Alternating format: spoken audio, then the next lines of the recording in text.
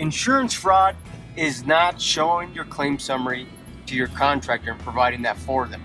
You know, the courtesy should be providing that for them and actually states there if you read through there, insurance companies tell you to provide that to your contractor of your choosing so that way there's any discrepancy in the pricing or any scope that was missed, they could make adjustments as a supplement.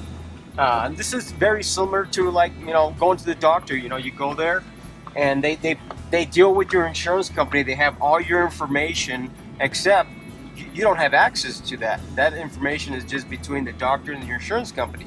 In this case, in claims with your property, the insurance company's courtesy is actually providing it for you uh, in hopes of you finding a contractor to compete on price. Now, when you get contractors to compete in price, what you're basically doing is you're having them compete in quality. They're shorting your roof in a few areas to try to make that lower dollar amount so they're still profitable.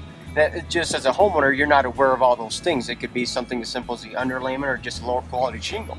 You know, it might look the same, but overall it's not. There's items that were missed. You know, what you want to do is actually provide that claim summary as directed by your insurance company.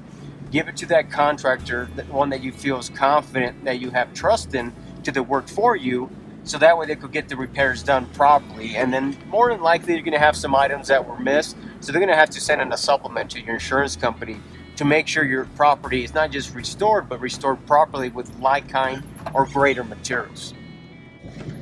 And let me reiterate that the insurance fraud is not giving your claim summary to your contractor. That is the process when you're restoring your property that your insurance company actually direct you to do so.